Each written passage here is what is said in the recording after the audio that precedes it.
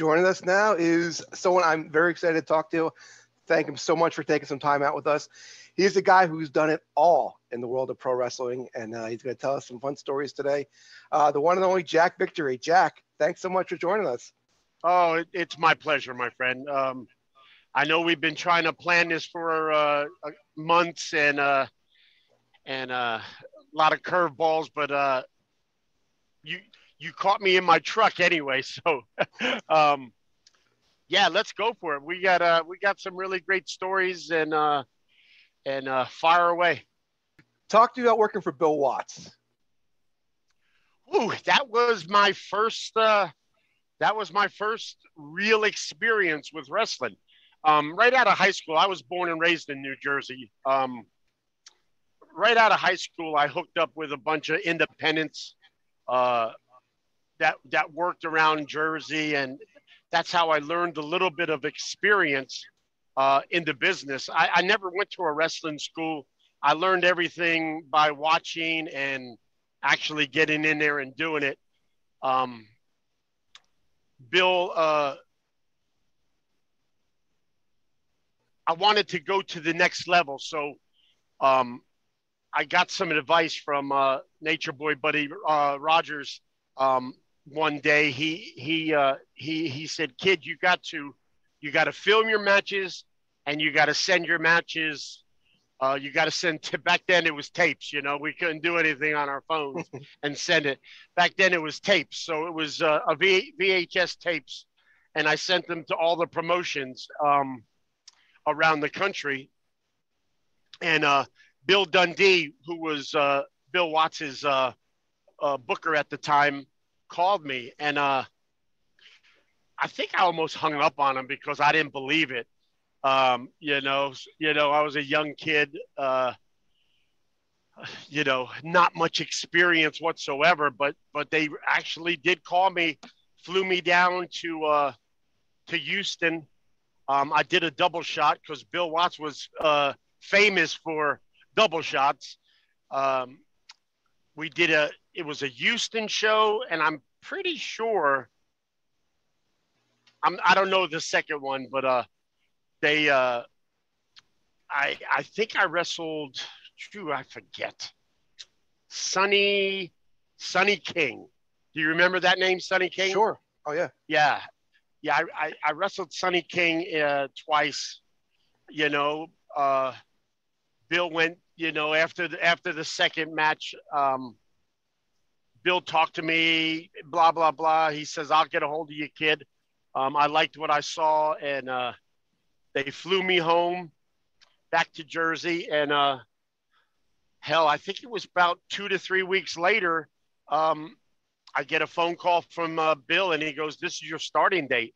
It didn't take long to learn how to work in, that territory. I'll tell you, we worked eight shows a week um, and drove every show there was no there was no fancy flying and no catering and none of that crap you know some some shows you would uh, uh they would be back to back shows you would have to wrestle stay in your gear jump in your car and shoot uh, you know two to three hundred miles to the next town and uh but we'll your... tell you to go home because because all the other boys are are behind us. You know what I'm saying? So you would have to eat up some time, and uh, but it it was a blast. I mean, you know, all the the talent that was there. Um, you know, the DiBiases, the Flairs, they always they always came out, watched my match, told me what I was doing wrong, and that was you know so much better than going to a wrestling school. You know, I, I learned uh, I learned the hard way. I learned in the ring. You know, so it was uh, it was a dream come true. What was Bill Watts like as a boss?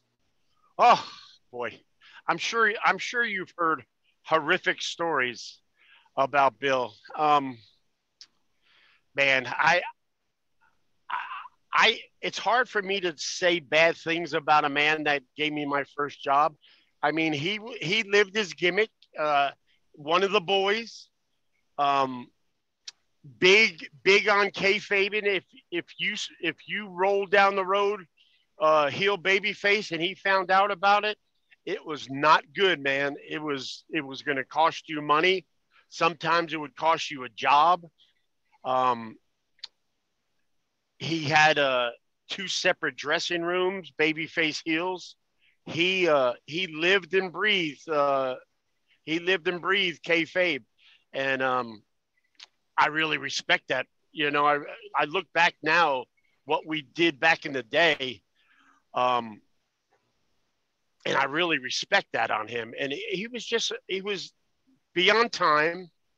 Um, you know, and when I say be on time, it, it was two hours before the show, most of the time, if we didn't have double shots, you know, double shots, uh, the fines didn't come out. Um, me and Bill got along great. He did fire me one. I, my dumbass wanted to get married, and, and I said, Bill, can I have a couple of days off? I, I, would like to. I would like to go uh, on a honeymoon. And um, he goes, kid, how many days are you talking? I said, maybe three or four. You know, just, I'll just fly to the Bahamas, bring the old lady, and uh, you know, uh, hit the sun. And um, he was, oh, he was like, okay, I'll, I'll give you five days off. I said, okay, great. So I planned my wedding, blah blah blah. Flew there, came back. He goes, kid, I gotta fire you. And I go, you're firing me when I got back from my honeymoon? He goes, yeah, but I got you a job uh, in world class. You're going to world class. I said, damn, okay. Um, so that's when I started in world class. So Bill, t- he, he fired me, but he took care of me, and then he hired me back after that. So I can't uh, I can't talk bad about the guy. Before we go to world class, though, any good uh, John Tatum and Missy Hyatt stories? Any Eddie Gilbert stories? I mean, you had a well, you worked with a lot of talent there. Yeah, I mean, we, uh, me and Johnny were getting a really good push uh, um, with Watts, uh, and, and then, well, I mean, I I thought it was just one of her her hiccups. Uh, so many of them in uh, why we were together. Um, but no, when Johnny said no, it's a shoot, man. She's leaving me for Eddie. I was like, damn, we we got to work that into some kind of gimmick. And Johnny was, I mean, give it to Johnny. It was, I'm sure it was hard for him to to work that angle, but he, he did a really bang up job. Uh, they drew a lot of money. Um, it was like it was like a, a shoot, you know. Um, but they worked it, you know. So it was it was uh, it was pretty cool. Did you first hook up with the uh, the sheep herders in Texas? I, I I I was with the sheep herders. No, I was in the sheep herders with Watts. Oh, and Watts. Okay, I got it. Got it. Got yeah. it. Yeah. yep. Yep. That was my first really, um, uh, you know, after about a year working first, second, third match. Yeah, me and Sean was married for about a year. Um, he broke into business around the same time uh, as I did.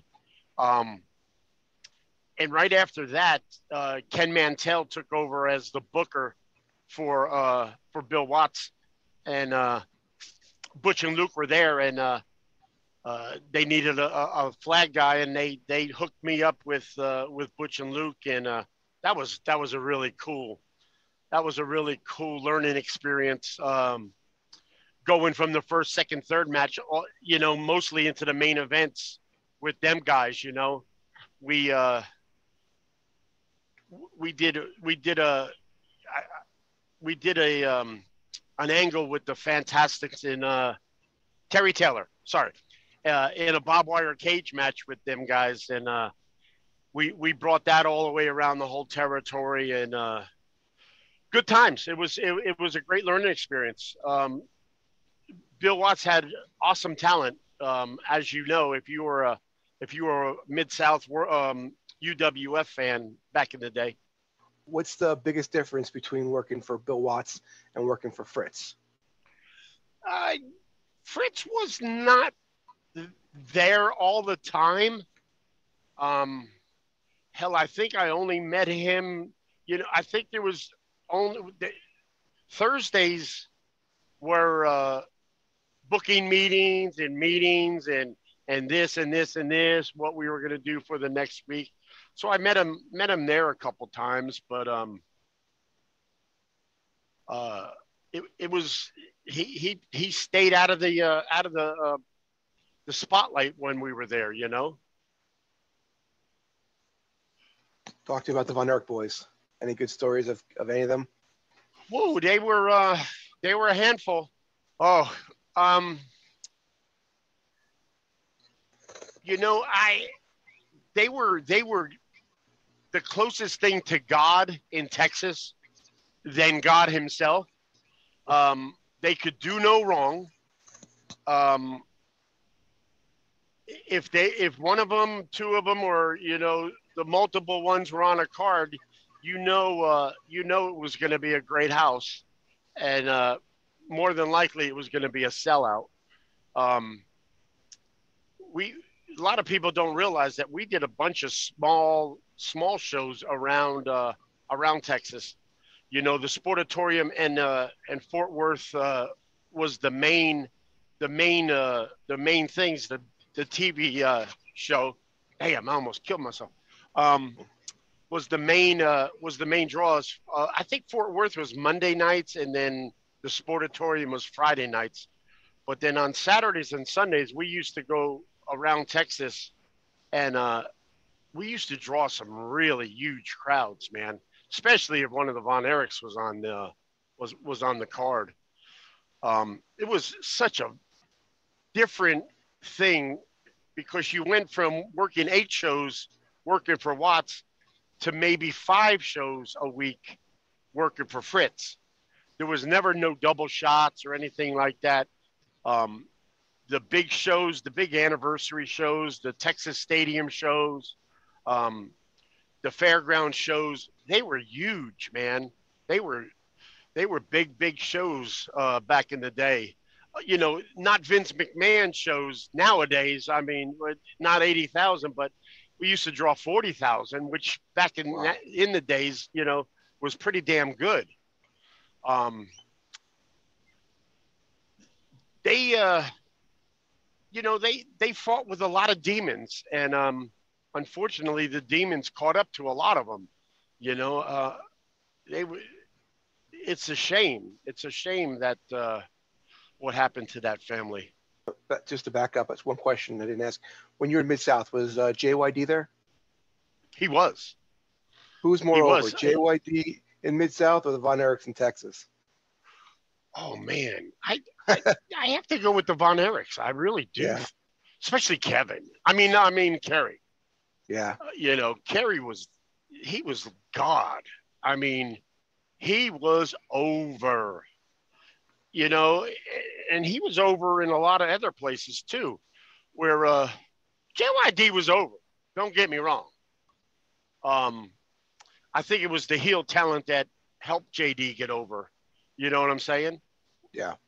Um, but I think I, I, I would I would bet the Von Erichs in Texas.